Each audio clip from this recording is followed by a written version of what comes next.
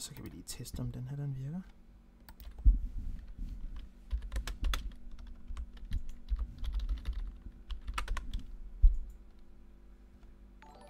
Hey, 8 måneder.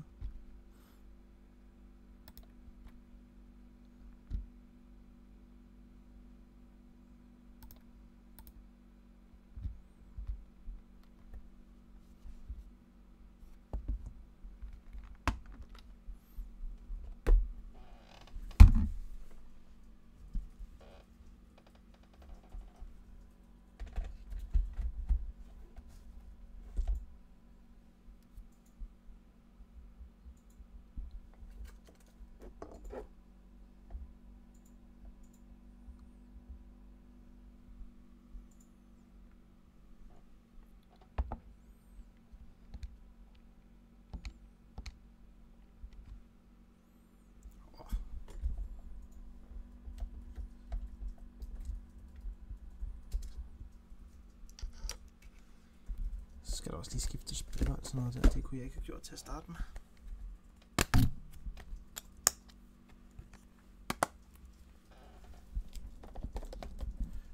Så... Jeg ved ikke, om der er nogen, der kigger med lige nu. Men øh, hvis der er nogen, beklager, at det startede lidt senere, end, øh, end hvad der skulle være sket, men... Øh,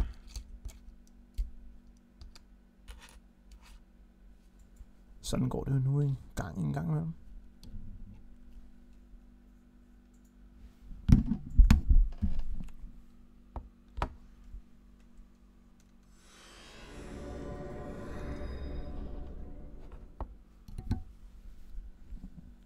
Jeg håber lyd og spillelyd, mig lyd og alt andet er som det skal være.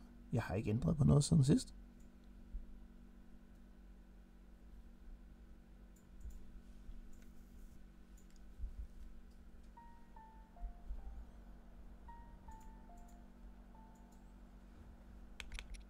Vi starter lige med en gang Amiibos. Hvad har Isabel at give til mig i dag?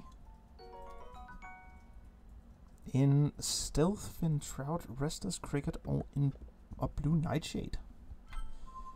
Og øh, hendes bror, Bixby. Armored Porky, Blue Nightshade og en Chickaloo Tree Nut.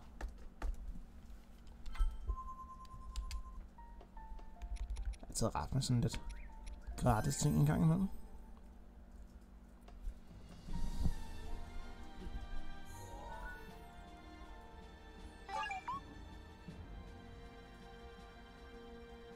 Nå, men øh, sidst vi var... Hvorfor vil den gerne have, at vi tager... Det kan jeg godt gøre. For once, you've done well. For once. Press X while material objects are displayed. Like with kick quests or cooking recipes. Track the required method. Okay.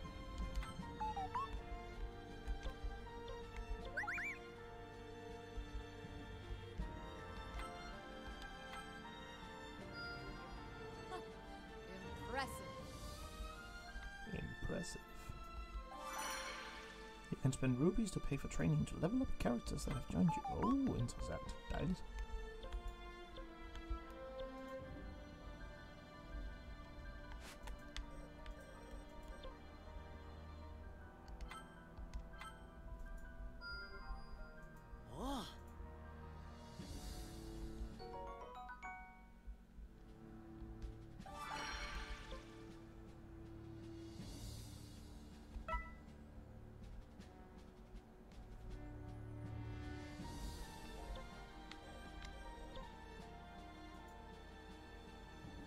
hvis så nu er den lagt der. Nu har jeg en Chica Slate sensor på de der røde ting.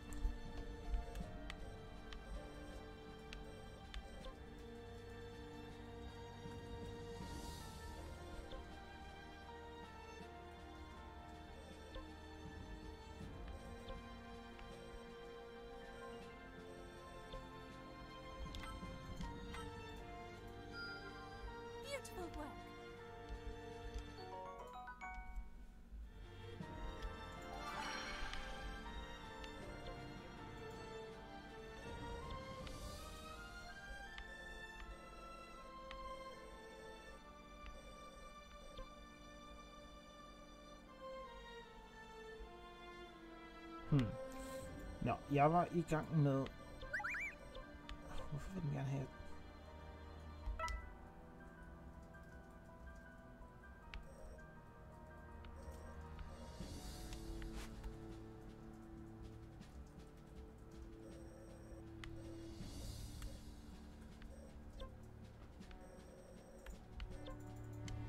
Det var den, der jeg var i gang med.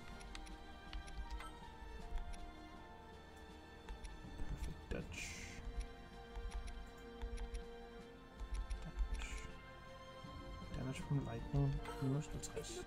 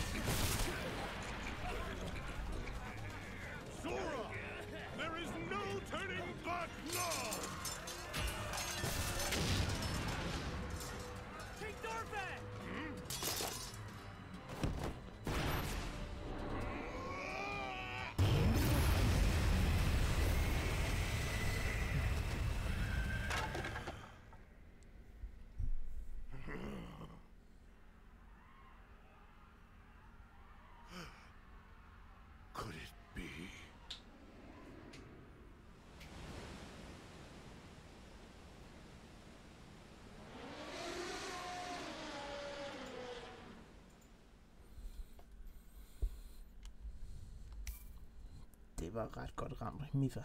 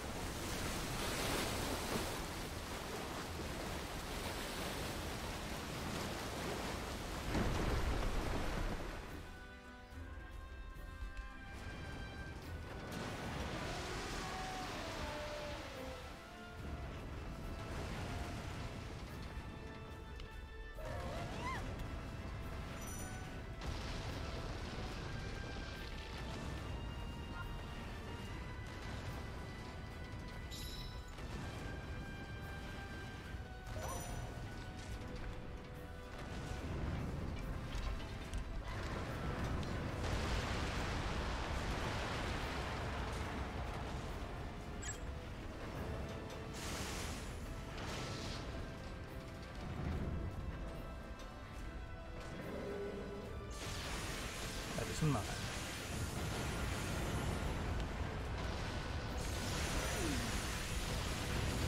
Jeg havde lige et kort øjeblik, det var man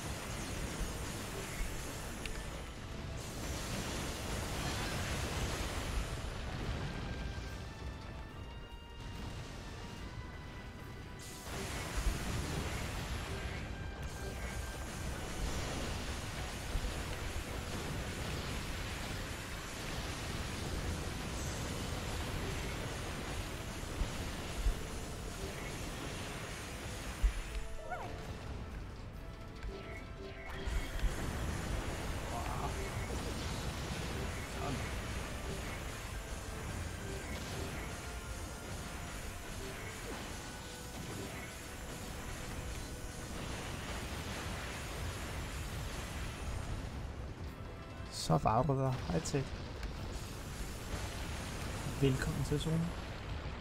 Og, og, og.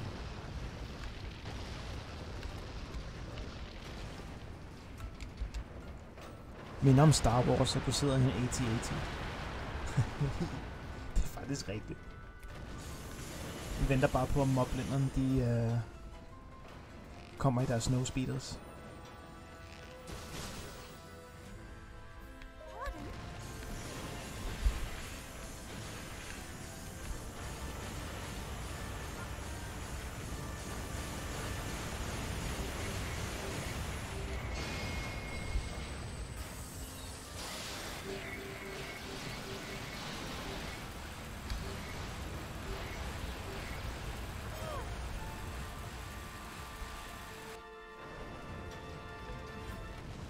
Men det der, det kunne AT&T ikke gøre.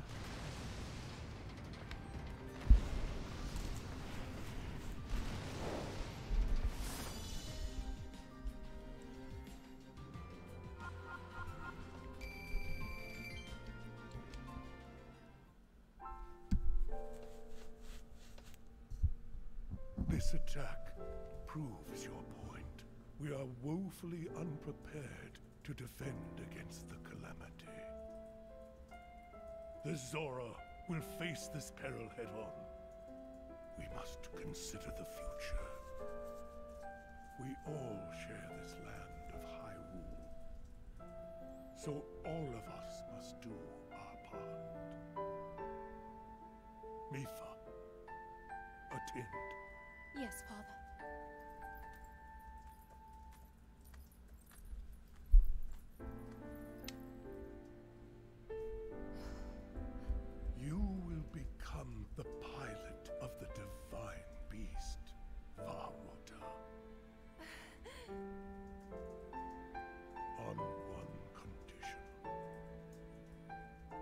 Die. You must promise to come back safely.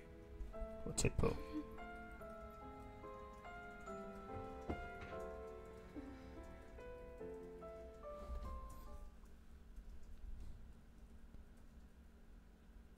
Har skrevet på min anmeldelse i dag. Nå. Er det, øh, er det, er det pæne ord, du har skrevet? Spillet som Endcast crewet elsker at have.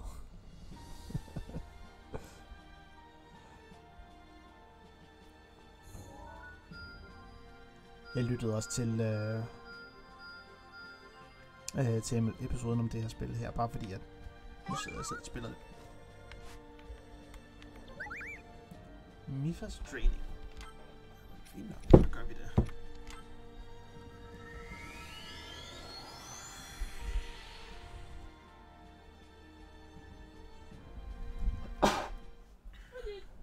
Thank you.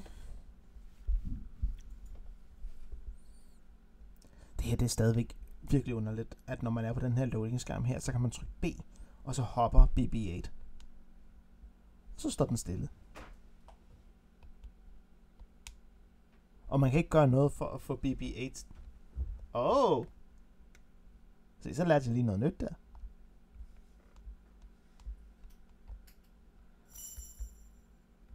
Hold da op.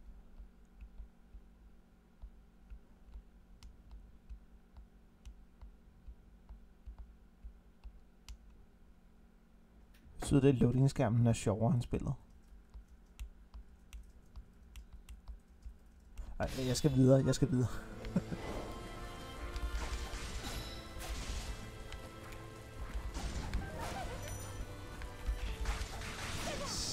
Det er for geyser climbing.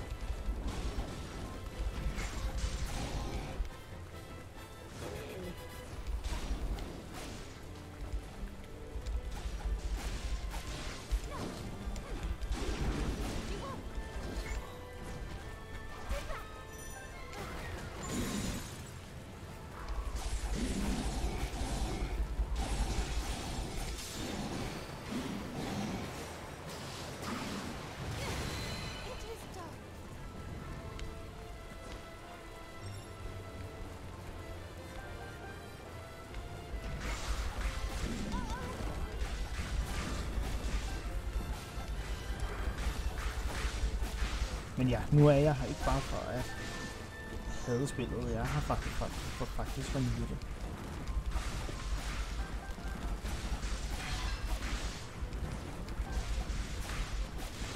Mange ting er allerede blevet sagt på spillet. Så der er ikke nogen grund til at fortsætte. PostNord lavede noget sindssygt i dag. Hvad, hvad lavede PostNord?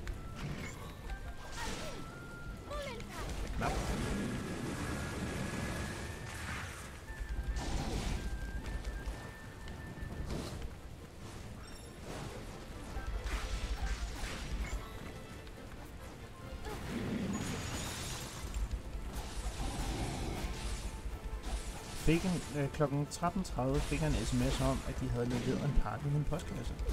Okay.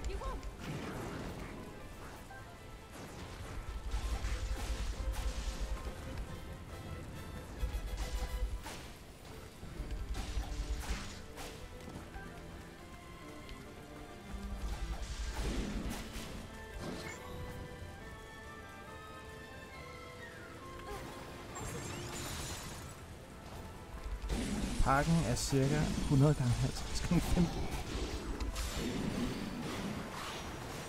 Jeg får den ind i min postkasse. Hvor var den så henne? It. Hvis den ikke var i den magiske øh, Dr. Who postkasse.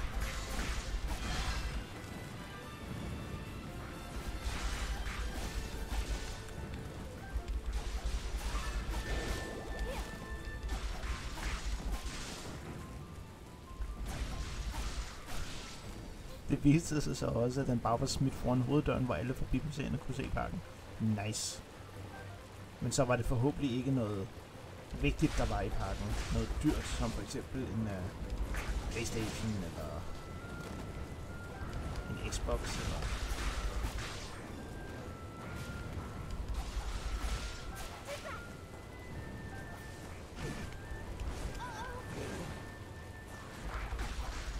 lå der så 5 timer i regnvejr, indtil min kæreste kom hjem. Åh oh, nej, den historie, det... Den bliver der bare ved med at give.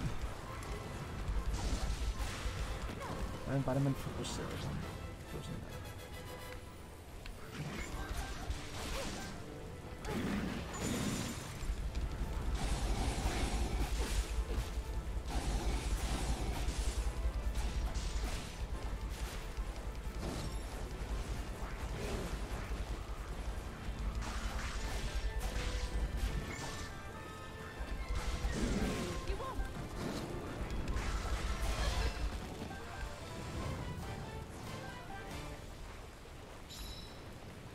Med den.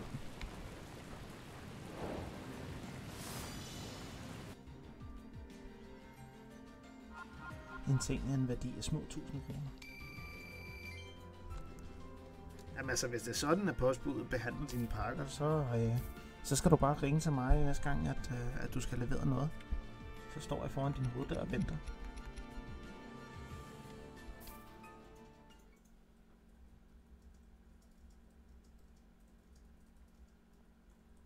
Nu vi så snakker om PostNord. Øhm, PostNord lavede noget fuldstændig sindssygt i dag for mig.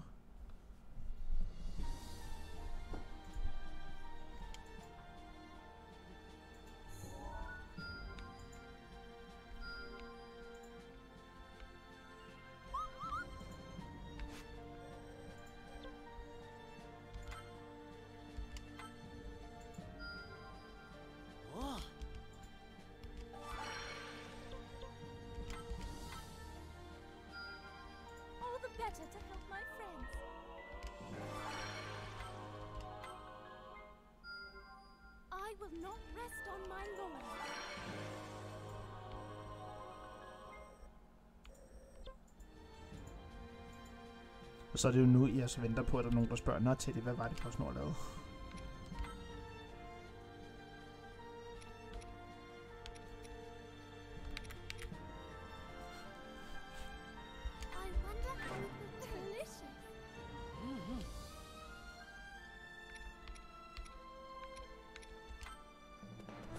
I venter på, du fortæller.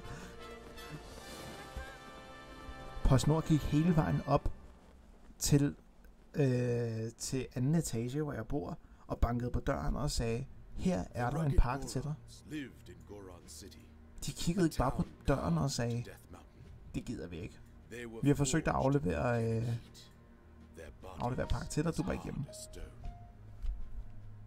Men nej, de gik faktisk op og bankede på. Det lyder sus.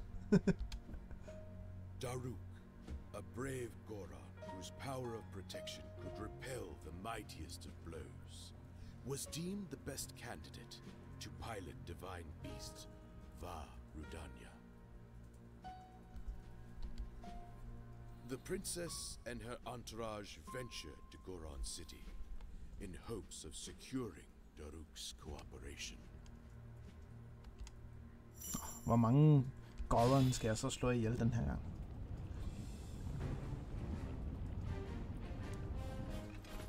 What you'll learn about me is that I never refuse a sincere request. so of course I'm on board with your plan. Må man så spørge, hvad det var, du havde bestilt, Patrick? Uh, well, it's just Varudania is in a difficult spot right now. The divine beast was found pretty high up on Death Mountain. A lot of monsters have been crawling around lately, so even getting close to old Rudania is a big pain. Det var en jakke. Only the bravest go up there now. En jakke til 1000 So kroner. that's why it's a good thing it's gonna be us! Oh, um, of course.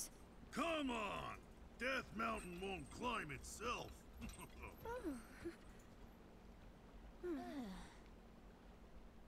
Hvordan kan de stå så tæt på Death Mountain, uden at der går ild i dem?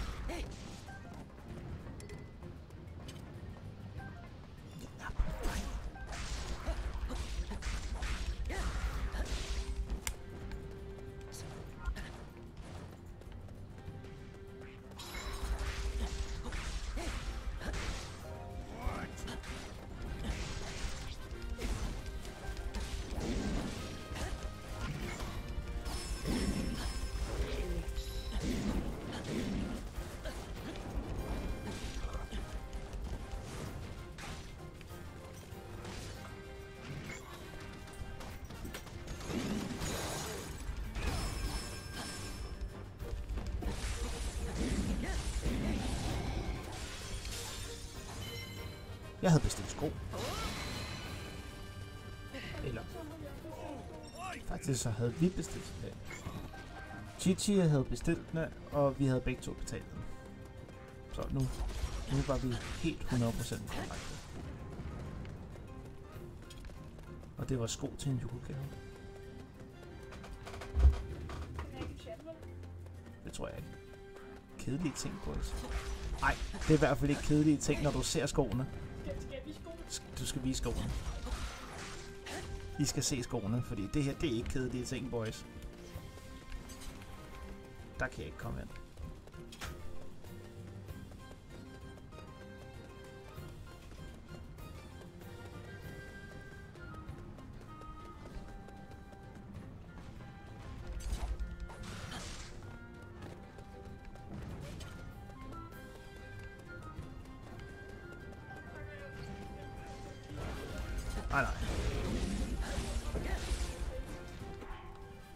Skal I se her.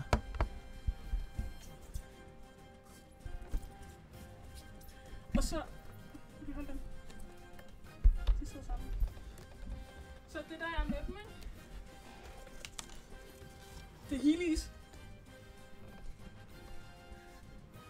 Bare totalt voksne her. Vi har bestilt Heelys i julegave til vores kammerat. Og det er voksenstørrelser. Det er ikke bare de der kedelige børnestørrelser.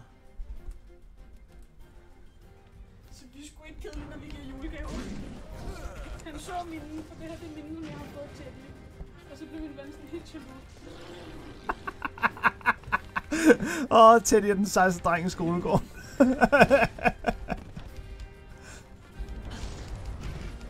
ja, fordi min mor sagde, at jeg godt måtte have Heelys. Jeg, jeg måtte ikke få Heelys som barn, så det er derfor, jeg har fået den. Med lyserød. What the fuck, Mr. Vip Vip? VIP, VIP? Går jeg ud fra, det betyder. Hey, NB Game. Velkommen til. Uh, uh, uh.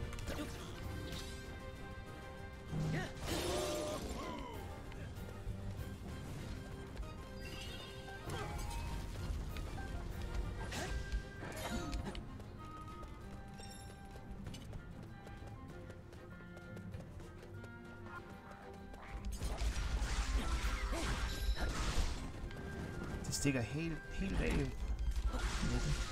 Hej Retro Lassen. Hvad stikker af? Hvem har stukket af? Fang dem!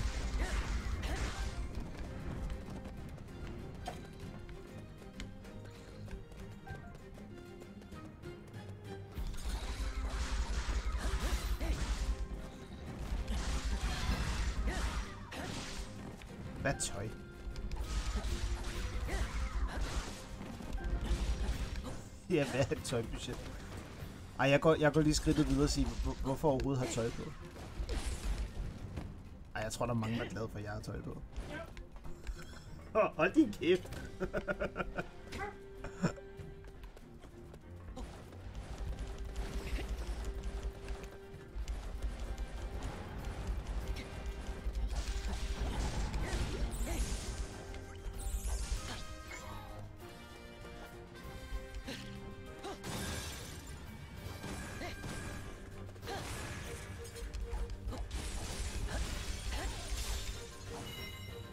Omverdens skyld er det okay at have tøj på.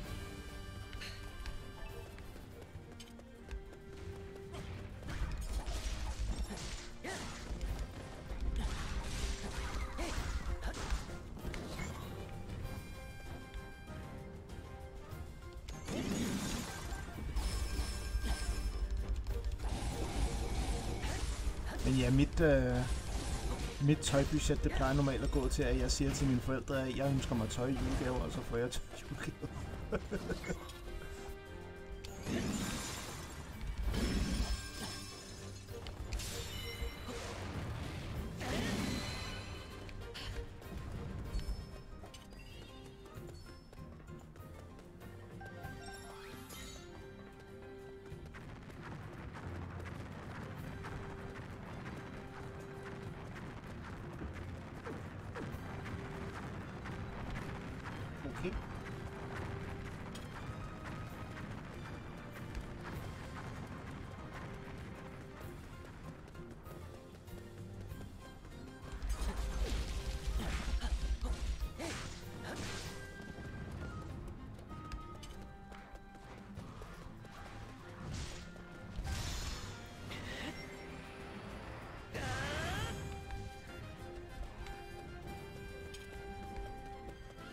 Det var herinde, jeg skulle have brugt den.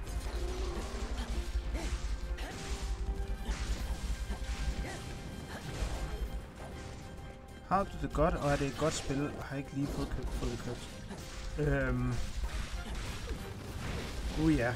Hvor skal vi starte henne? Øh, en indvikling, du kan, du kan få live-versionen nu.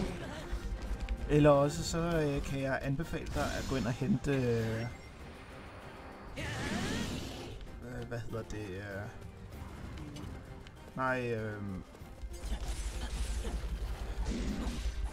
podcasten. Tak, podcasten. Er der lige en, der gider lave linket til podcasten?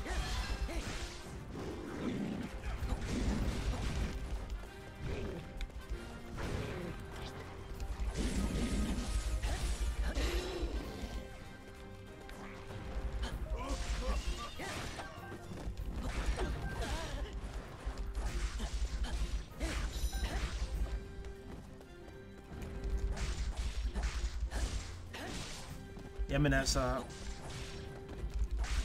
Når man, når man kigger på, at spillet er en, øh, et warrior-spil, så er det faktisk rigtig godt. Så, så det, det, det, det skal den have. Spillet er et rigtig, rigtig godt warrior-spil. desværre så har spillet en forbandelse over sig, hvis man kan kalde det det. For den ligger navn til den ikke ligger navn til, men den ligger... Øhm, den ligger stil til Breath of the Wild. Og når man ser på det her spil op imod Breath of the Wild, så er det her et middelmådigt spil. Så hvis man går ind med en, en tanke om, at jeg skal spille et Warrior-spil, så ja, så bliver man ikke skuffet.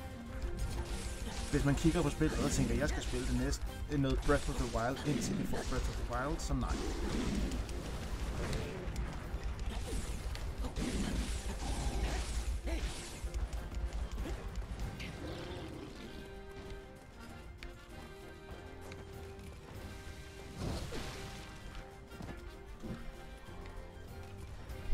En, en ting, der er rigtig, rigtig fedt, det er, at man...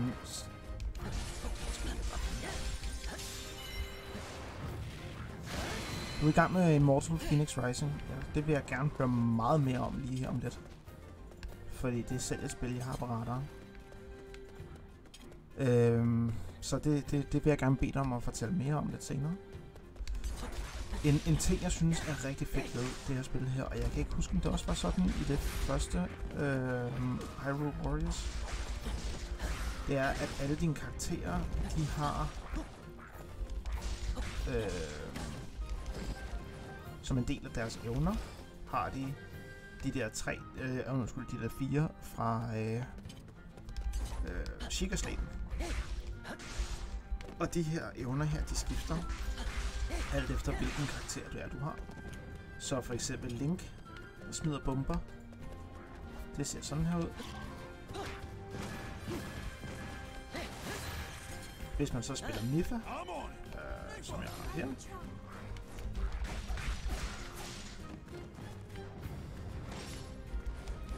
Hvorfor hun var så langt væk?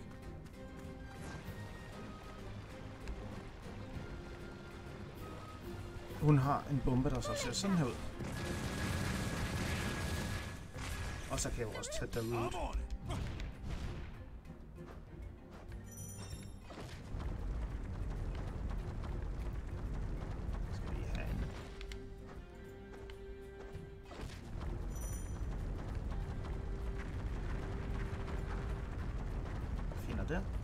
Hans bombe ser sådan der ud.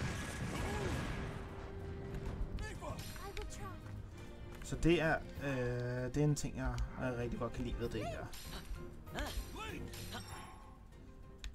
Mifa, du må gerne begynde at gå derop, og The Root Sandstorm, du smutter derop og gør dig klar.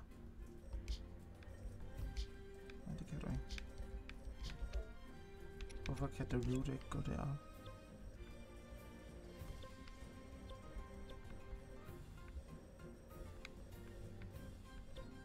Så gør du der.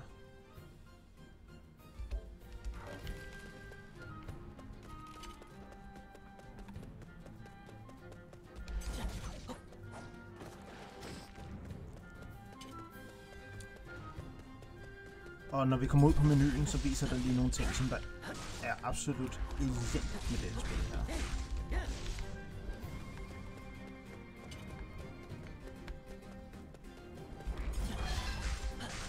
Et spil, som kombinerer Assassin's Creed Odyssey, Zelda, Breath of the Wild. Jeg kan godt se, hvad du mener med Breath of the Wild, men Assassin's Creed Odyssey, den er jeg ikke helt med på, hvordan du, uh, du får Phoenix Rising til at være ligesom det.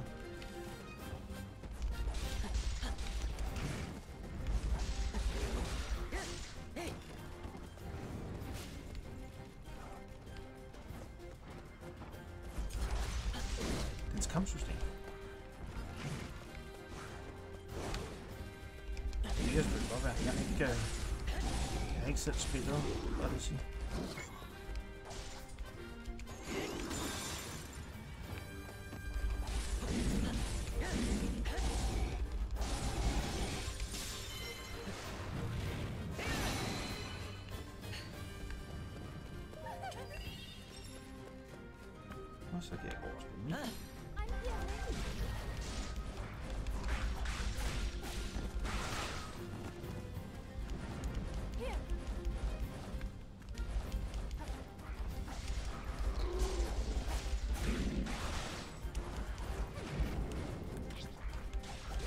Fun fact, ideen til Immortal Phoenix Rising er faktisk udsprunget fra Animal Crossing Odyssey.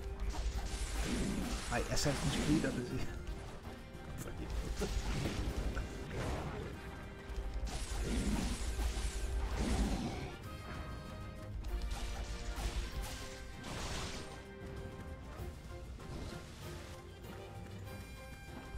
Men ja, det undrer mig overhovedet, ikke? Animal Crossing Odyssey.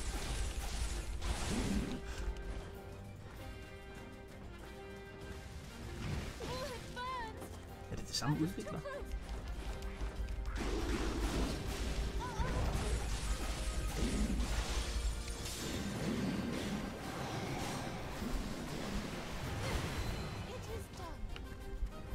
Er det, er det bare de samme folk, eller er det også Ubisoft, som der står bag uh, Phoenix Rising?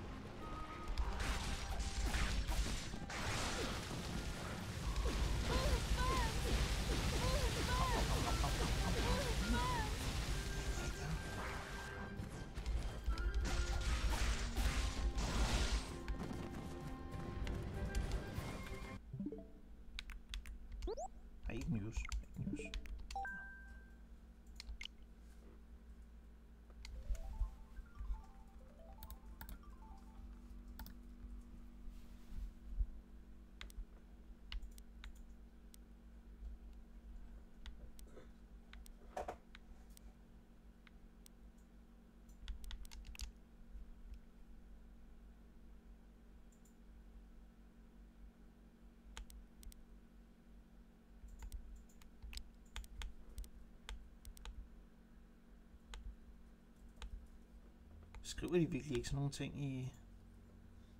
De skriver bare Ubisoft. Ja, okay. Mine øjne. Ja, efter jeg skiftede over til, øh, øh, til den nye Switch her, så har jeg glemt at sætte den over til Night Mode, som jeg normalt altid har min Switch på.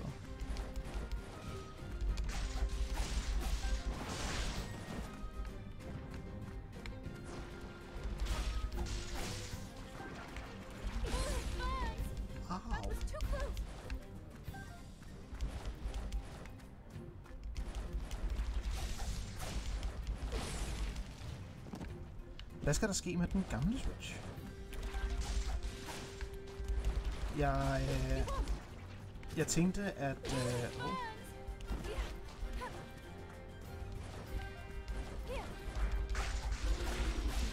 jeg tænkte at have den som en øh, gæsteswitch, når, øh, når vi fik folk på besøg, som der gerne ville sidde og spille det Switch. Ja, det sker rimelig tit, at vi får folk på besøg, som bare sidder og ja, hygger i sofaen, og så har lyst til at sidde og spille lidt skidt. Ingen gæste Switch.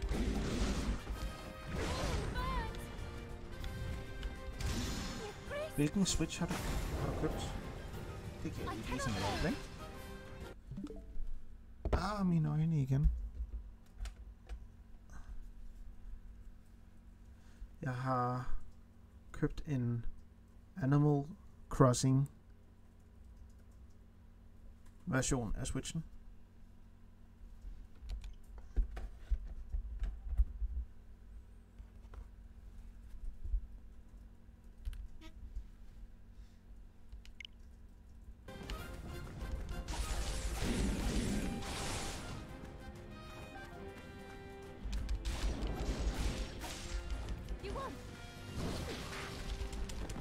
Som der så gjorde, at min Animal Crossing by den blev ødelagt. Fordi jeg havde glemt at lave en backup-kopi.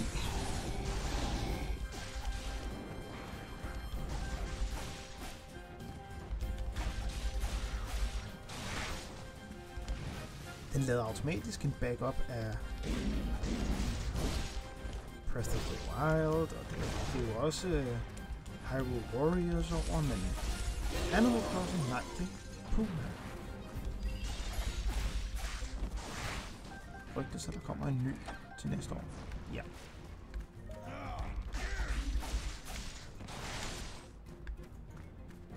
Men jeg ville så gerne have en Animal Crossing specifik Switch. Jeg vil gerne derind.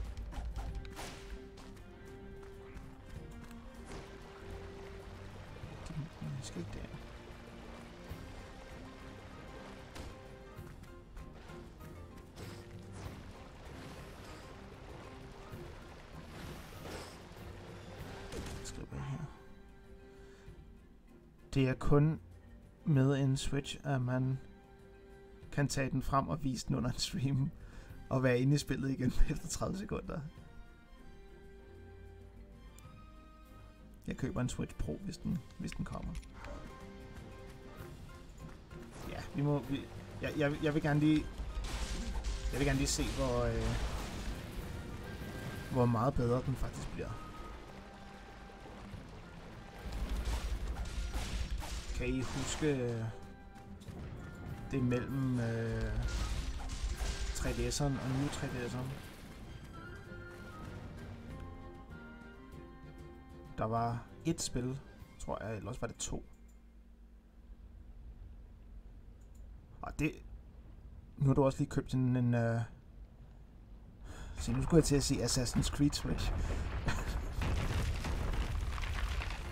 nu har du lige købt en uh, Animal Crossing Switch. Det, det skal ikke stoppe mig, hvis der kommer en ny om et år. Jeg vil have den til Zelda. What? Chichi vil gerne have den til Zelda, som forhåbentlig kommer.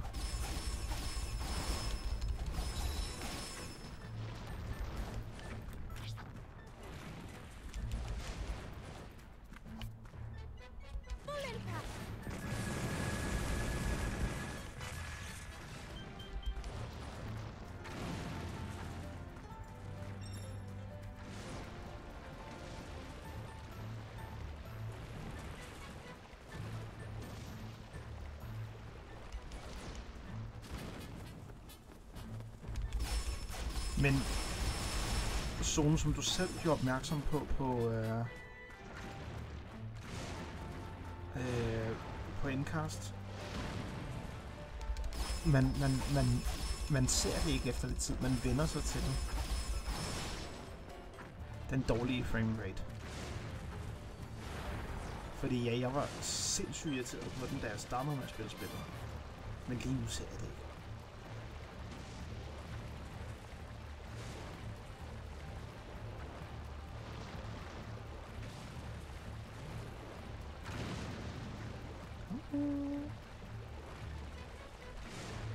Det gør man. Hvad, hvad gør man? Ser man det, eller vender man sig til det?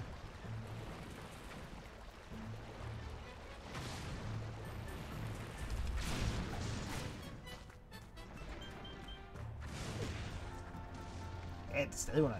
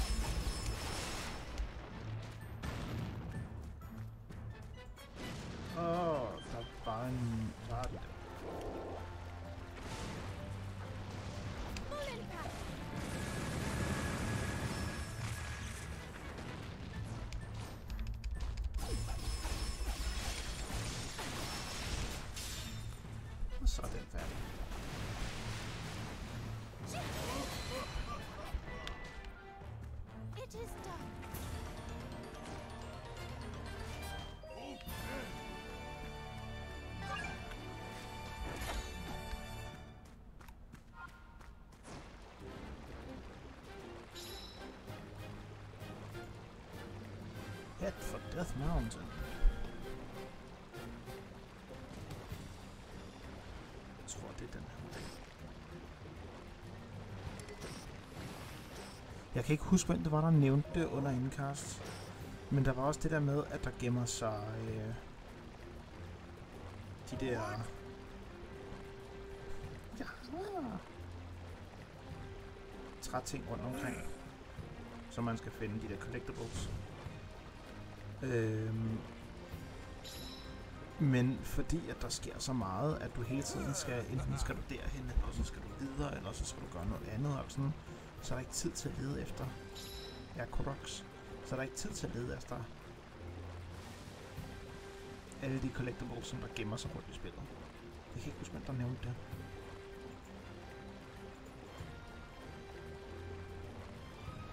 Det var Spitz, der nævnte det. Ja, okay.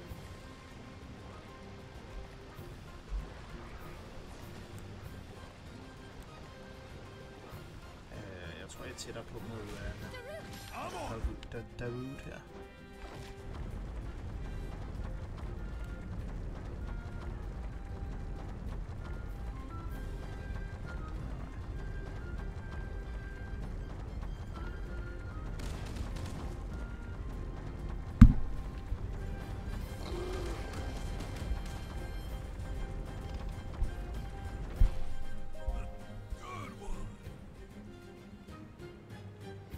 About a break?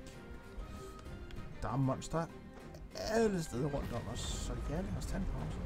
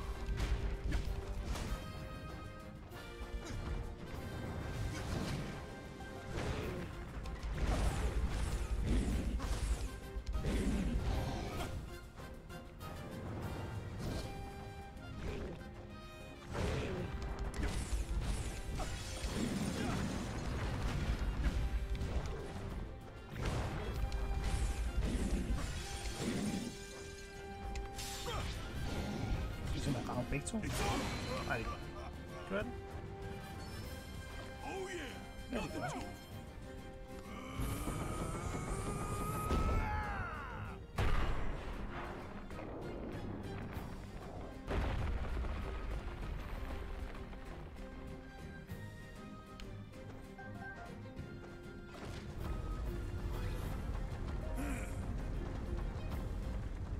Zone, kan du huske, hvor tæt det her område egentlig ser på, på, øh, hvordan det så ud i Breath of the Wild?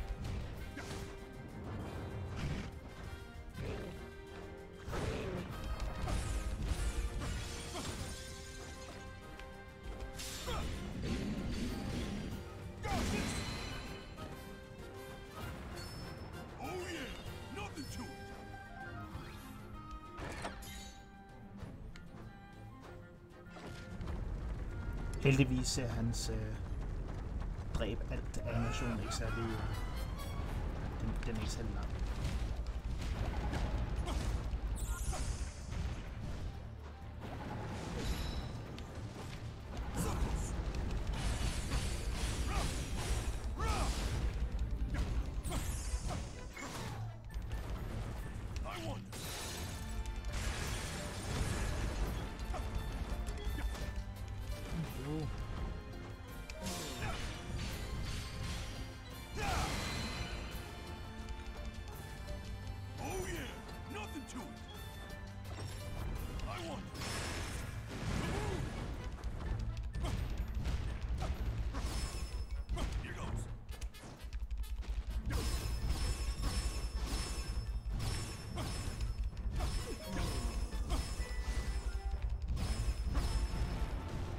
Ah, tæt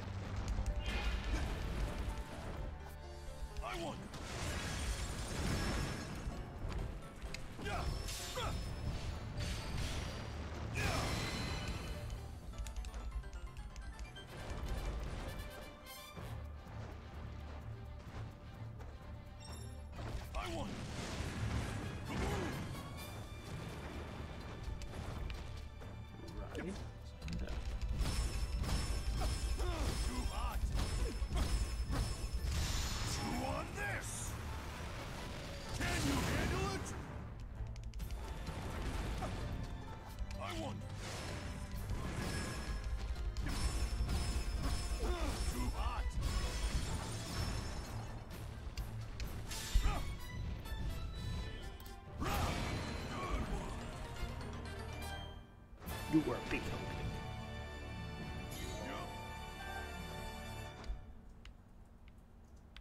Det var bare Mifa og der som der lavede det hele.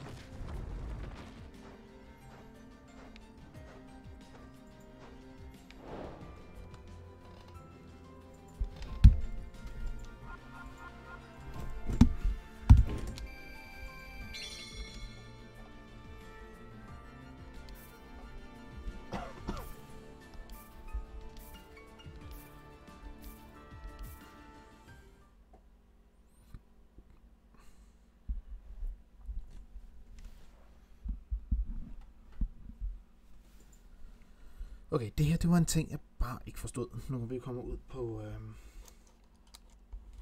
på kortet.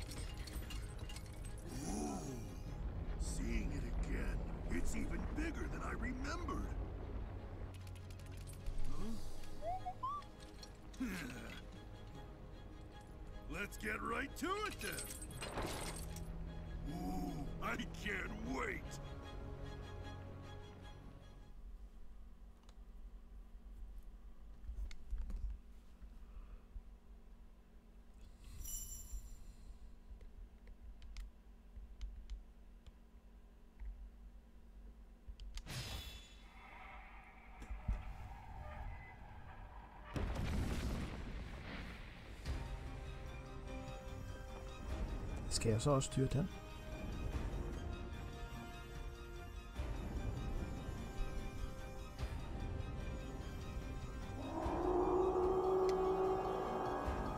Total BB-8.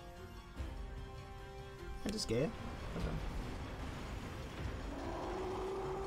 Hvorfor skulle jeg så hverken styre kamelen eller, eller fuglen?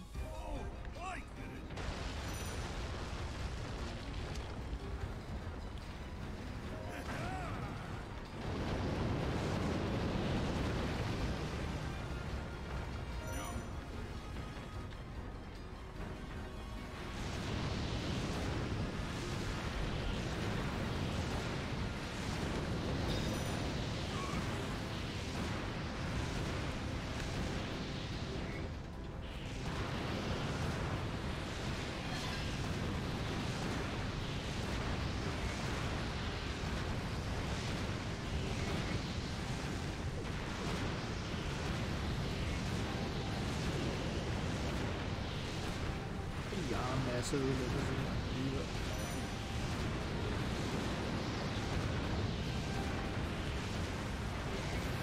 Take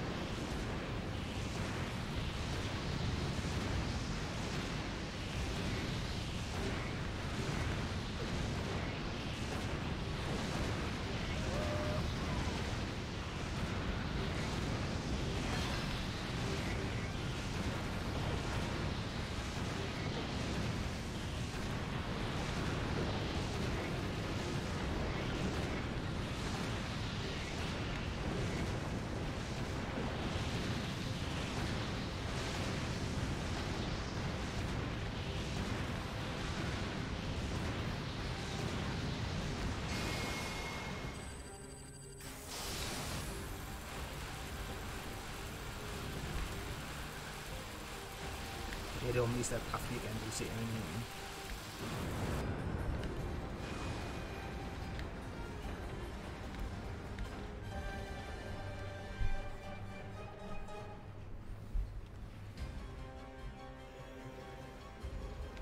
Let's go for food there.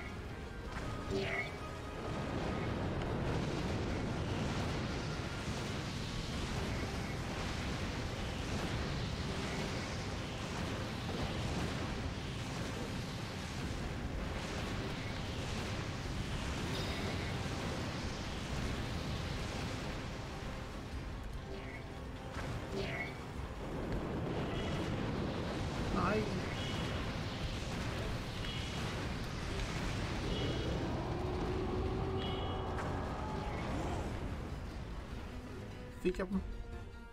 Åh, oh, jeg nåede lige at få dem. Nej! Det er fint.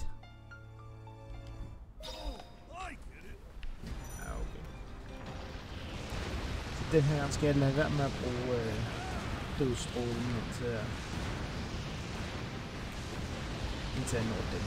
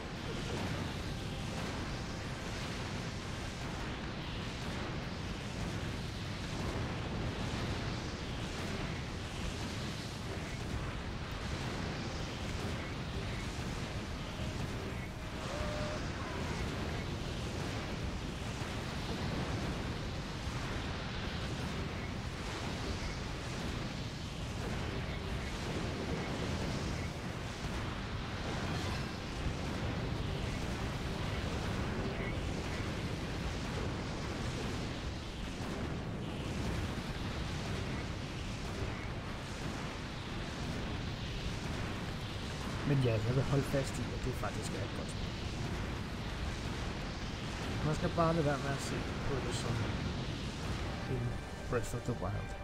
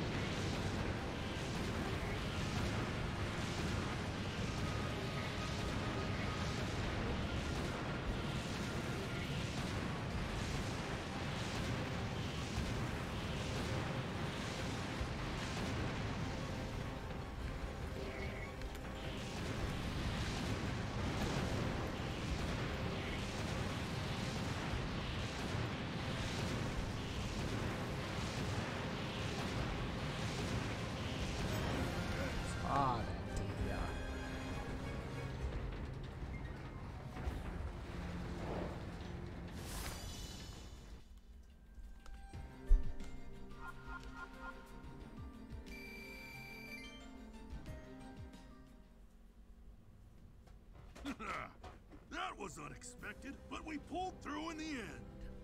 You really proved yourself, hey little guy? now, about me piloting Rutania. Well, go ahead and count the mighty Daruk in. Oh, thank you, Daruk. Of course! We'll smash that Calamity Cannon jerk to smithereens! oh, wait a minute. You must be starving after all that fighting. I know just the cure for that. My favorite. Prime rock roast. Doesn't it look delicious? Why don't you dig in, little guy?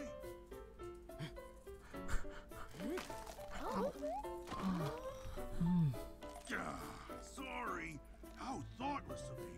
I should have brought some for you, tiny princess. Next Hi, time, Link. I promise to bring enough for everyone. Uh, thank you very much. Bare det, han prøver.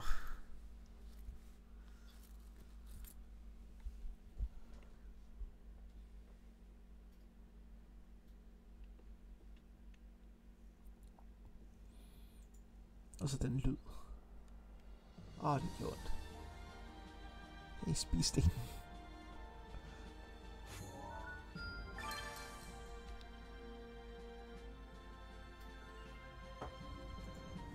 Nu ved jeg ikke, øh, uh, NB Game, er du, uh, er du her stadig, eller?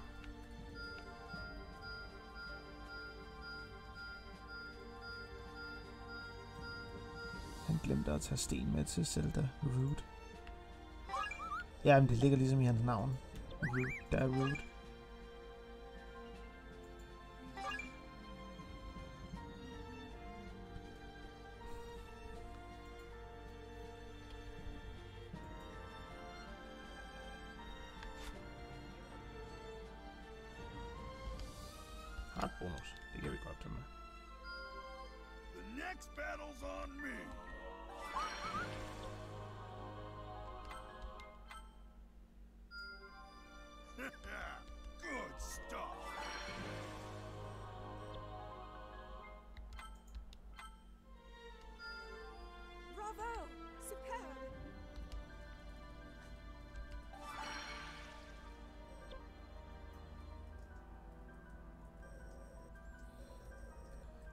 Nu har jeg placeret en Chica sensor på den der. Og en på en anden en. Der. På den der.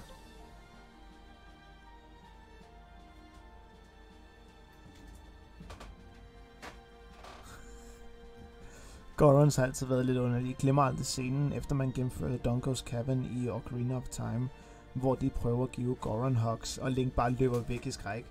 Ja, og lyden af Link, Link der råber.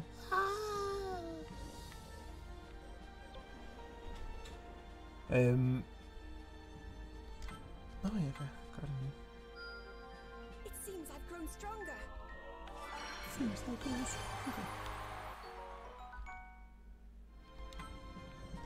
Nå, øhm, zonen, prøv at se her. Nu har jeg en quest her, som... Den der, den mangler jeg kød på. Så jeg trykker på Sheikah Slate. Hvad nu?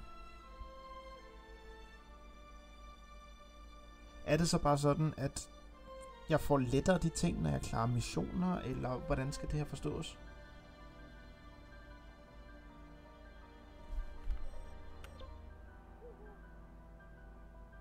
Den blinker. Betyder det, at jeg så... Okay, så i den der mission, der kan jeg få de ting, som den der skal bruge.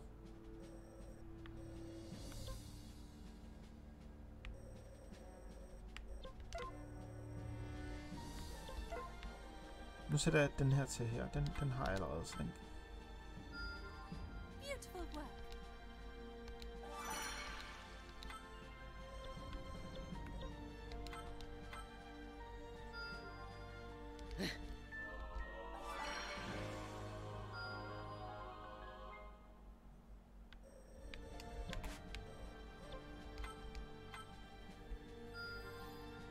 Jeg er klar missioner.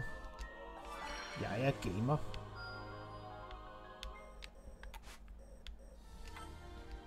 You don't have to... Okay, så trykker jeg på den der. Og det er så den der, der lyser derovre. Så jeg skal klare den igen. For at få de ting, som jeg mangler til den der.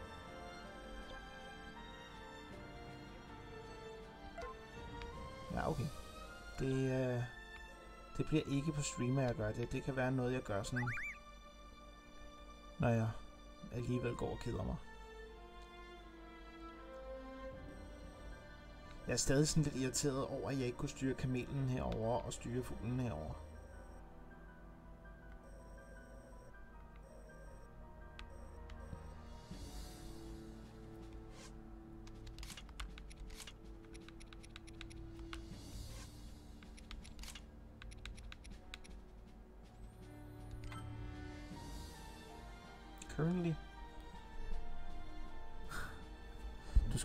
Items. Okay.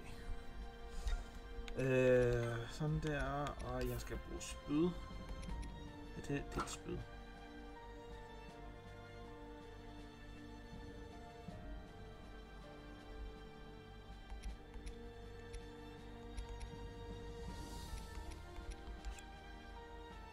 Så må jeg heller lige gå ind og gøre spyd en lille smule bedre, hvis jeg så...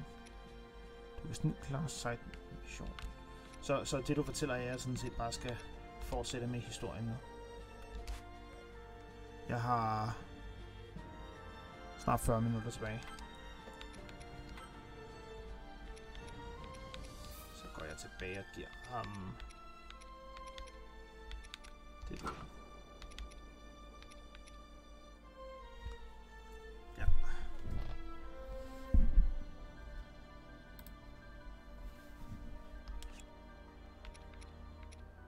Oh, jeg skal give ham, altså give ham andet tøj på.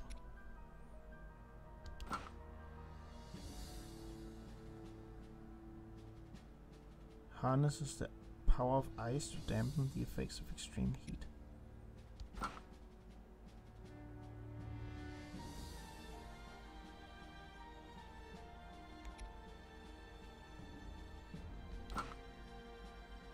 Sådan der.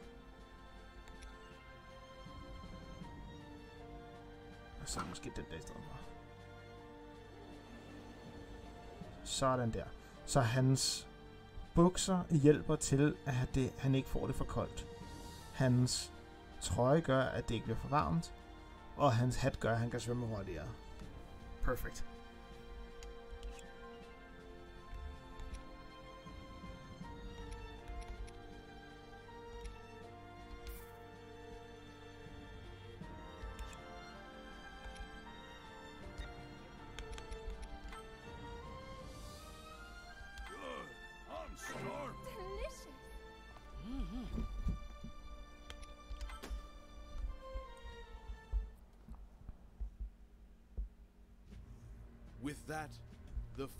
Divine beasts were assembled with their pilots.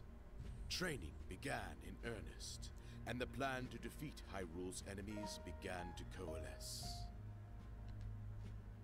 Zelda continued her work, calibrating the divine beasts and researching ancient relics.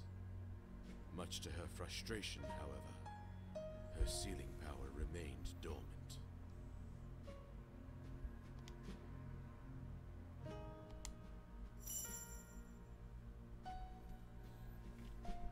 Og han ligner en million. Bup, bup, bup, bup, bup.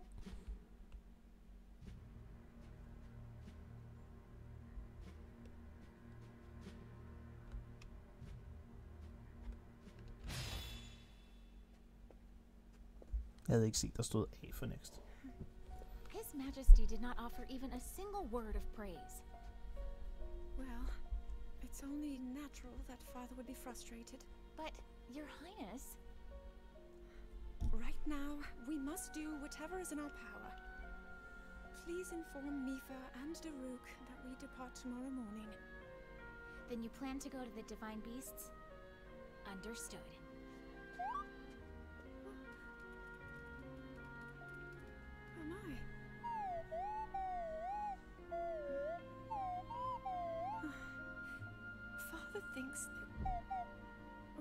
Thinks that the reason my ability hasn't awakened is because I haven't worked hard enough.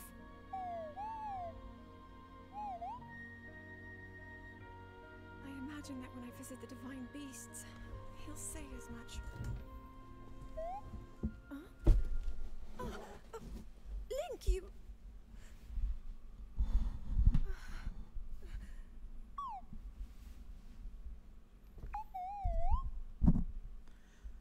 BB-8 is right. Beep, beep, beep, beep, boop, boop. Yes, I know. I was about to tell him that. Beep, boop, beep, boop, boop, boop. Hvornår hun begyndt at lære BB-8'sk?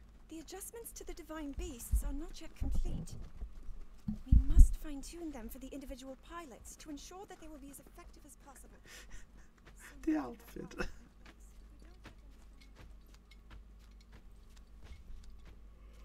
Daruk, join you for training next time? I would like to be fully prepared.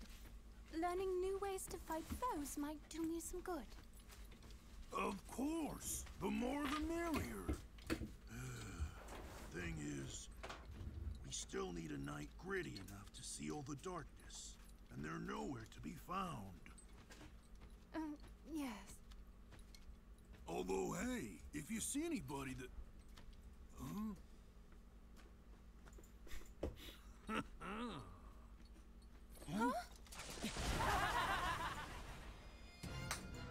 they want? Your Highness, I bring news. It regards your impending death.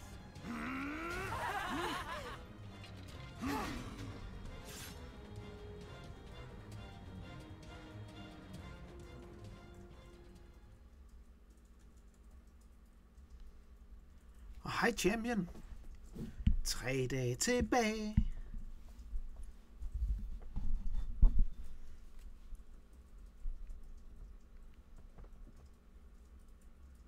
Vil ikke synge resten. Det kan være DMCA.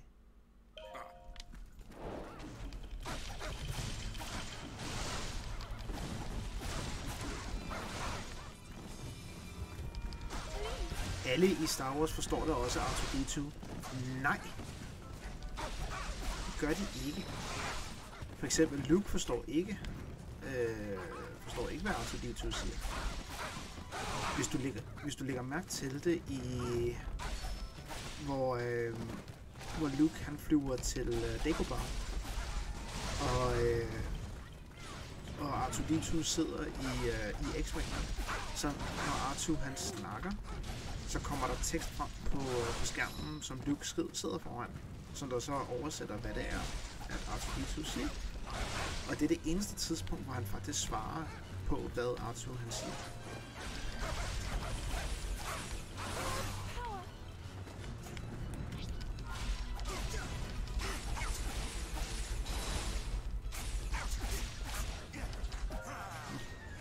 er også en loop. Hvad? Betyder stadig ikke, du ikke, at, at du ikke havde ret.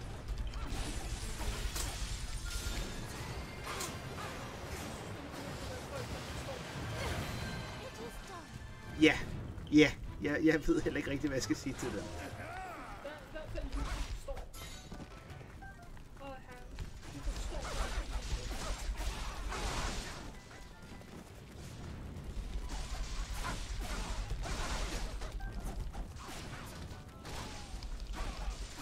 At se, så bliver man bare nerd, own, nerd alert owned af Teddy.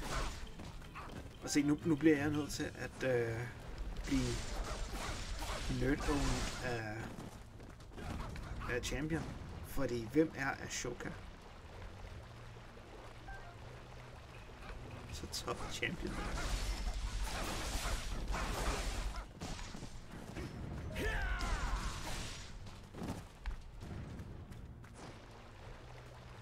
Hjælper stadig ikke. Hvem er Ashoka Tano? Clone Wars og Rebels. Okay, jeg har ikke set Clone Wars. Clone, Clone Wars eller Rebels endnu. Så giver det nok meget god mening, at jeg ikke ved, hvad karakteren er. Uh, jeg skal ned.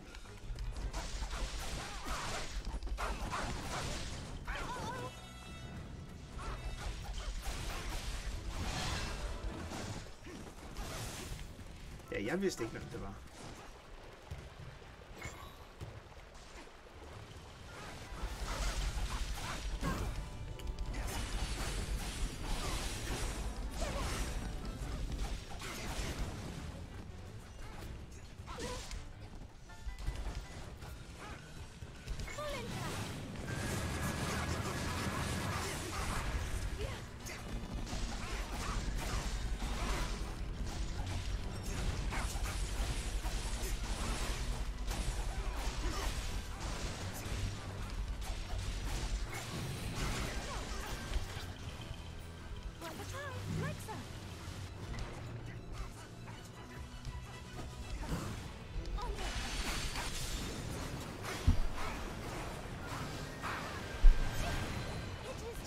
Har taget hende med i filmen.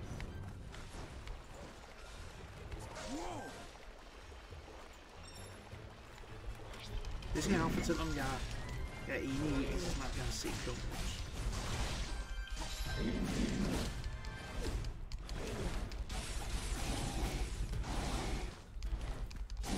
Sona er ved at se.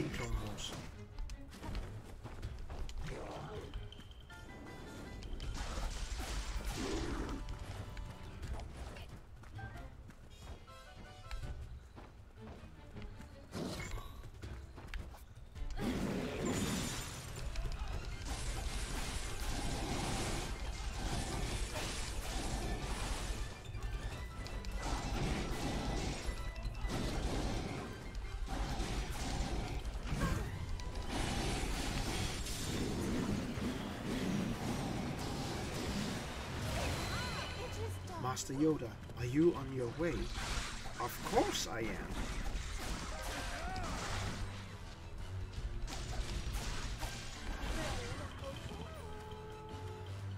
Nej, fordi når han siger det sådan, hvad betyder det så? Of course I am, eller er det, at han er væk fra kursen? Of course. That's the joke.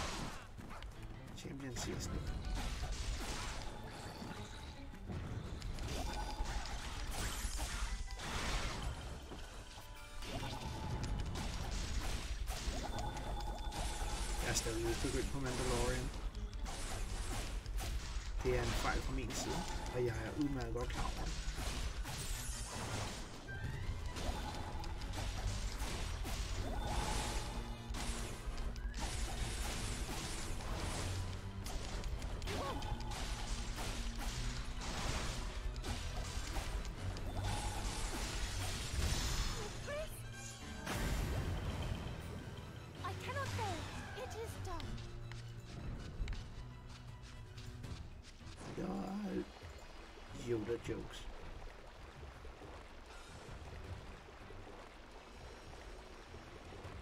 Champion siger, at Mandalorian er så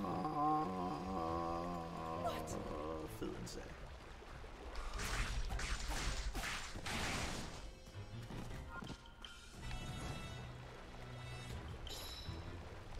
Ja, ja, Streamlabs. Jeg er med i Discord-serveren.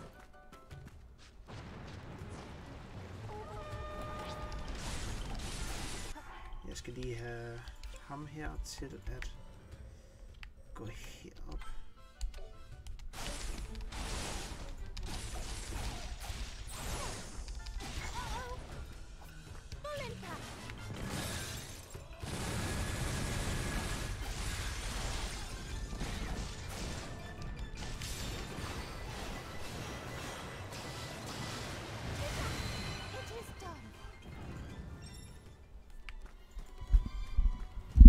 har... Øh, vi har alle Star Wars filmene. Fra 1 til 6. Ja, og Rogue One. Ja. Den har vi på øh, Blu-ray.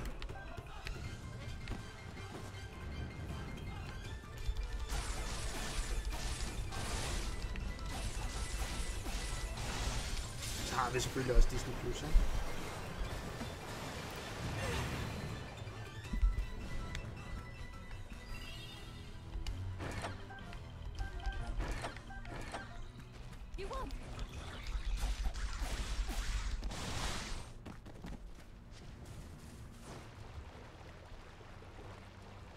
Svøm, Mifa. Svøm.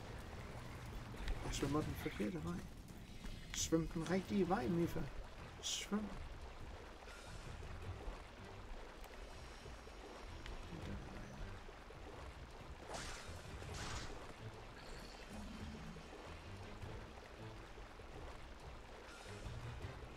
Zone har 1-7 på Blu-ray.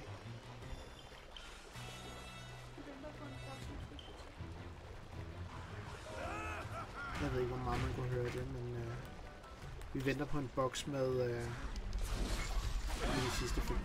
Der er ikke nogen grund til at gå ud og købe af en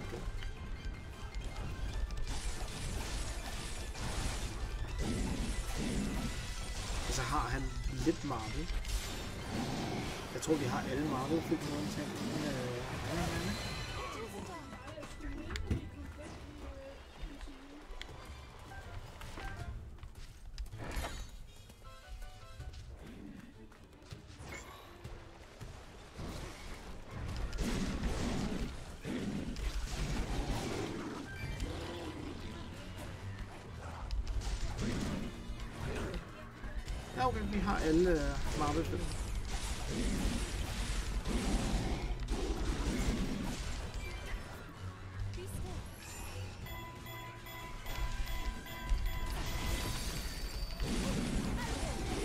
er nogle af dem, der skal udskiftes til Blu-ray. Men ellers har vi dem alle.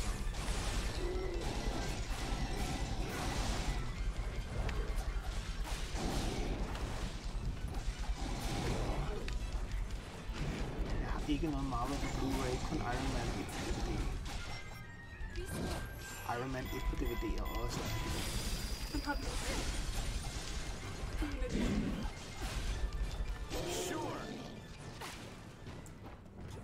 Skåne, når, når vi udskifter vores Marvel-film, skal vi så gemme DVD'erne til dig, eller er det lige meget?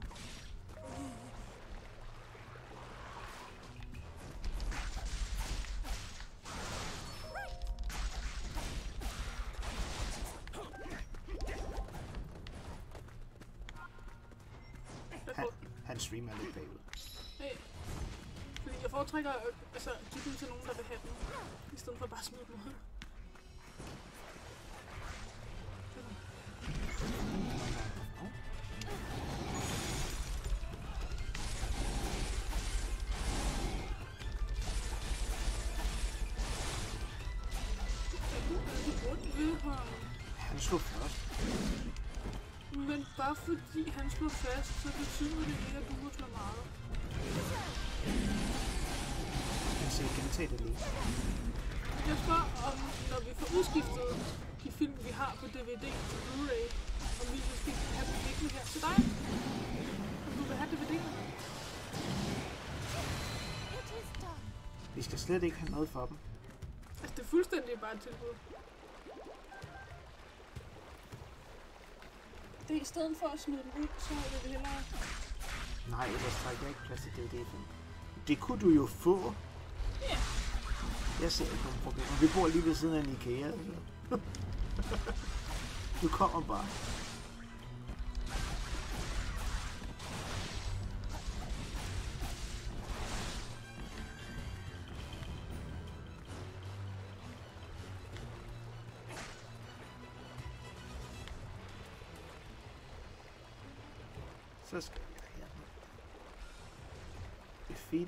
Weapons. Hvad for noget? Det ser ret hyggeligt til det spil.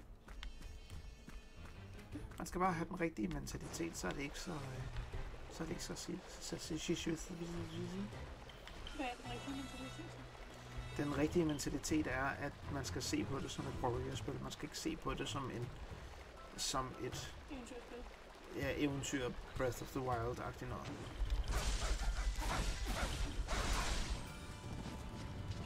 Min lejlighed har ikke plads til flere møbler. Nå, ja, okay. Det er der jo så en nem løsning på. Ja, smid lortet ud. har du virkelig brug for en ny, for en ny Playstation? Vi, vi har dem liggende, indtil der er nogen, der kan fortilværelse, og vi stadig har. De var til electric nok, hvis vi skal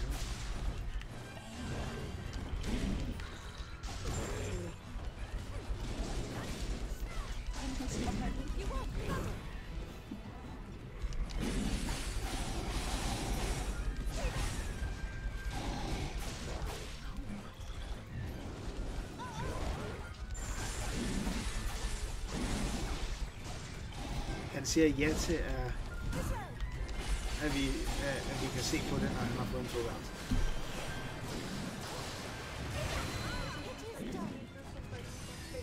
Ja. Vi, øh, jeg tror stadigvæk, vi har en uh, kopi af 50 Shades of Grey, hvis du vil have den, champion.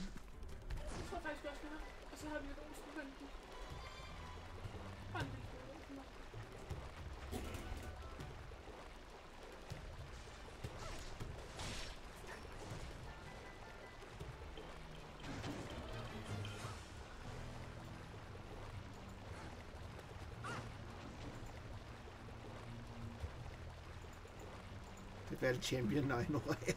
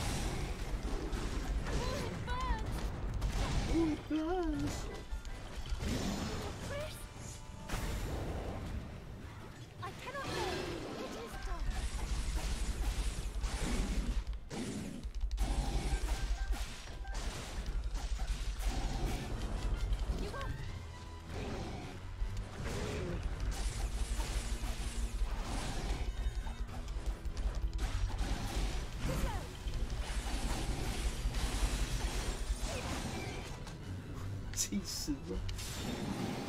Er der virkelig så meget at?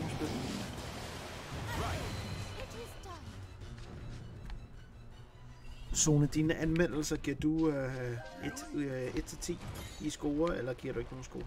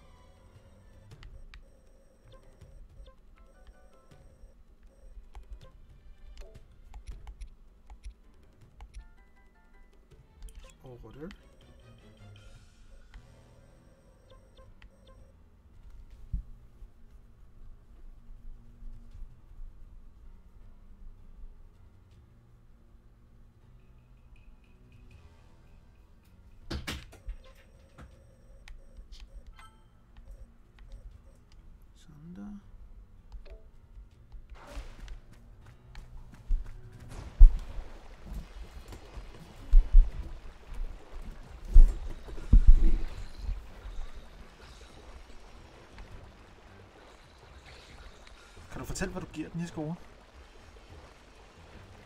Du ved, den var Mega Man, Mario og Luigi.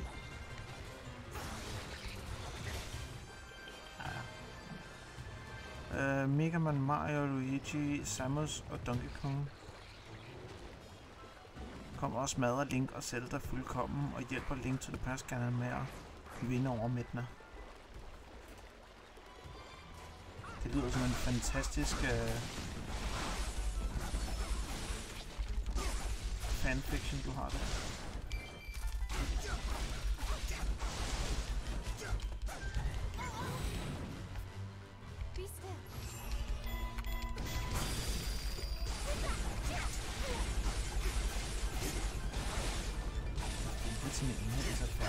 Hvad er dog det for en måde at, øh, at behandle mig på?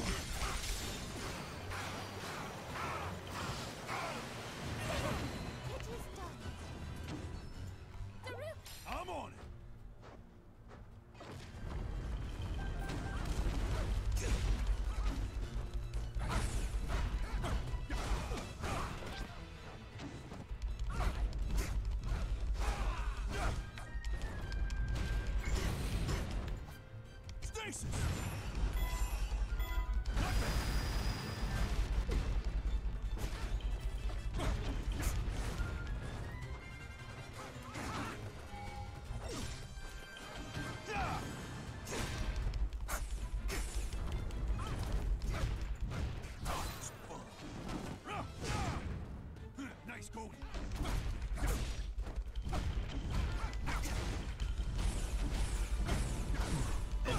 Altså Ashamed. Hvad, hvad handler det om? Må jeg være med?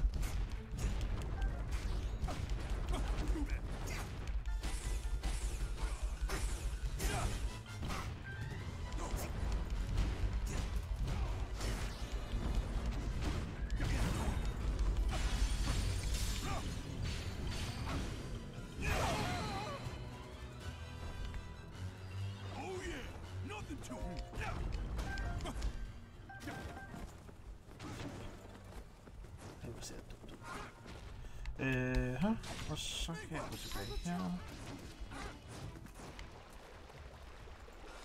Skulle man så lige tage og sende ham.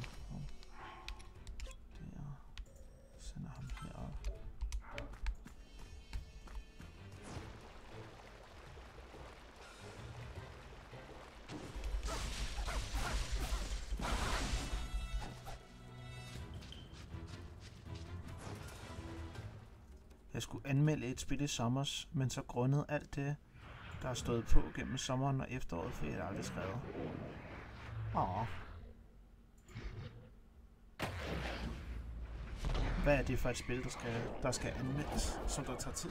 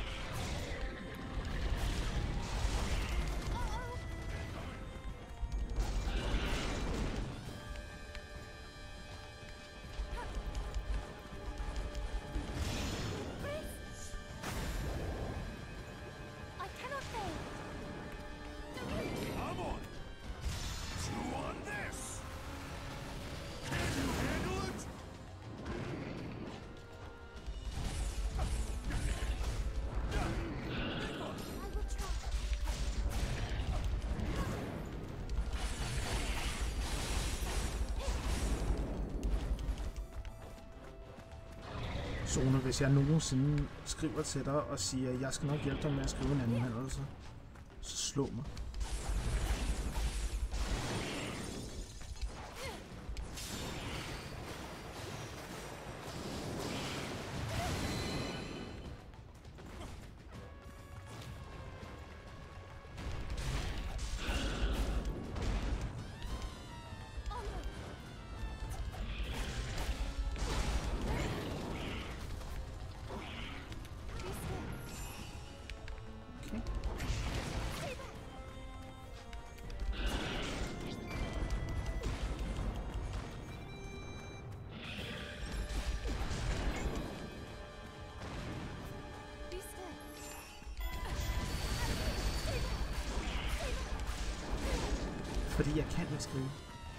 Så dårlig til at skrive sådan nogle ting som anmelder.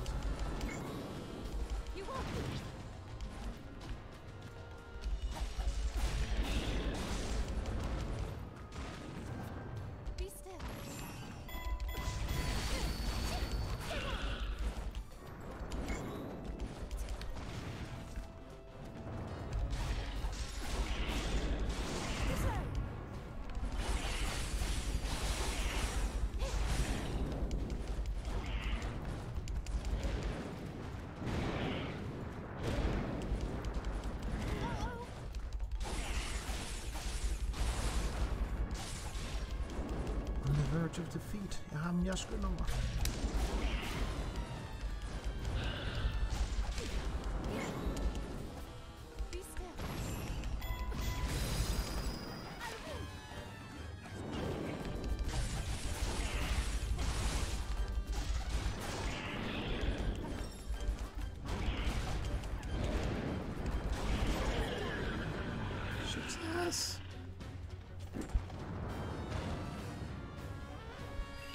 Champion, du skulle begynde at streame til, øh, til januar, ikke?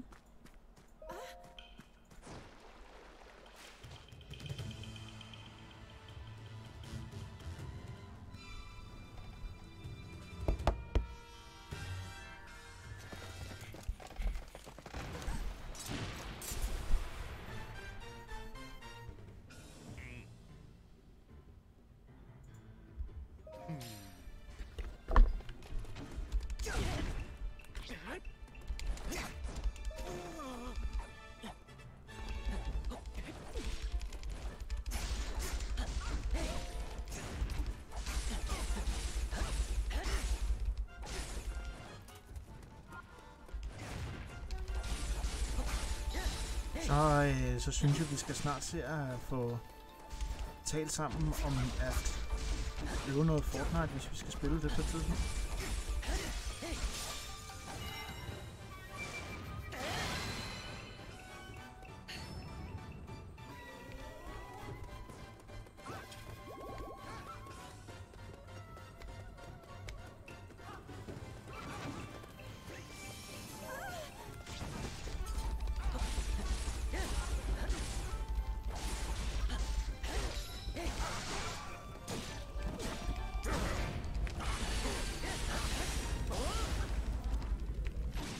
Jeg ved godt, Fortnite er gratis, men hvis du er stadig ikke god til det.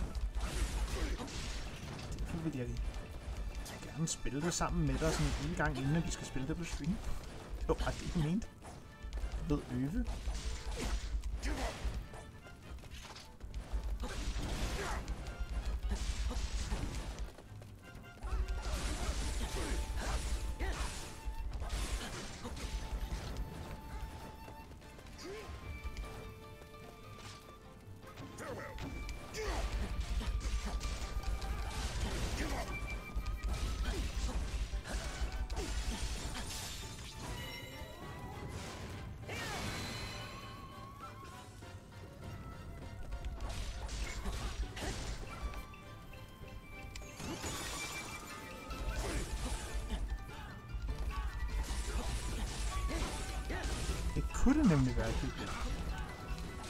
Også derfor, jeg siger det.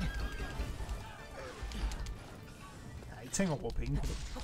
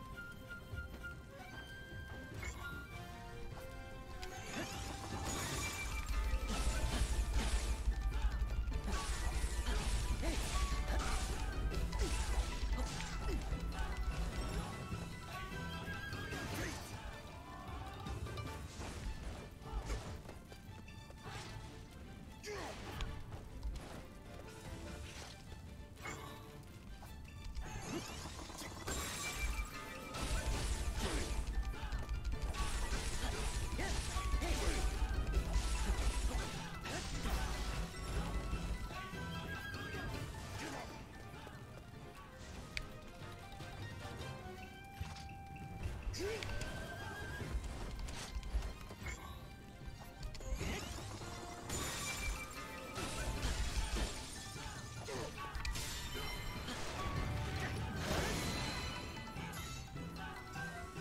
hører en masse potentielle ting, jeg kan få Champion Streaming udsat til februar. Hvad nu?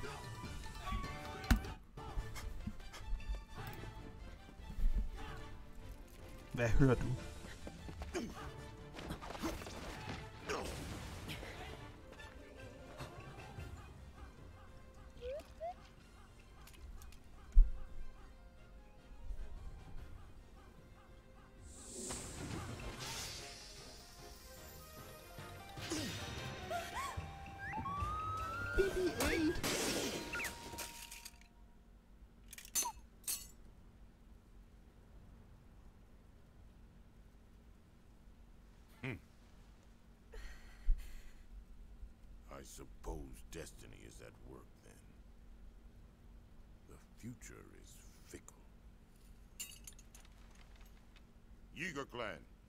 Time to go.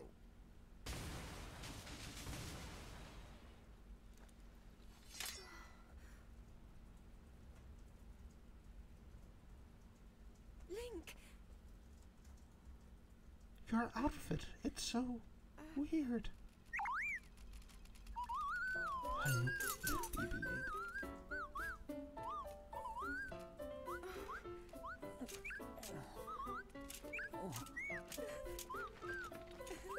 Ha ha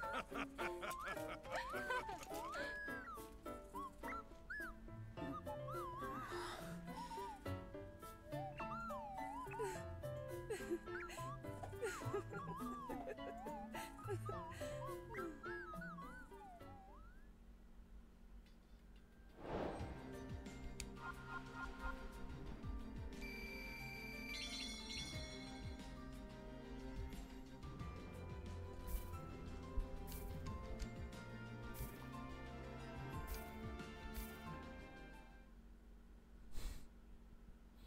Dumme robot. Ej, hvor er, hvor er det irriterende. Den skal, den, bare det, den skal eksistere.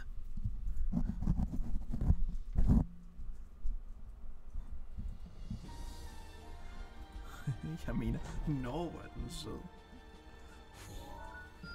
Nå. Det var det, vi når for den her gang. Jeg tog lige en time ekstra, eller det vil sige, at nu skylder jeg en time. Øh, mellem mine streams, så vil jeg tage alle de der blå markører rundt omkring. I hvert fald så mange af dem. Og øh, så næste gang vi kommer, så fortsætter jeg med chapter 3. Freeing Korok Forest. Men øh, indtil da, tak fordi I gad at kigge med, og igen, som altid, en rigtig, rigtig hyggelig stream. Så kan I have en god mandag derude, og øh, vi snakkes.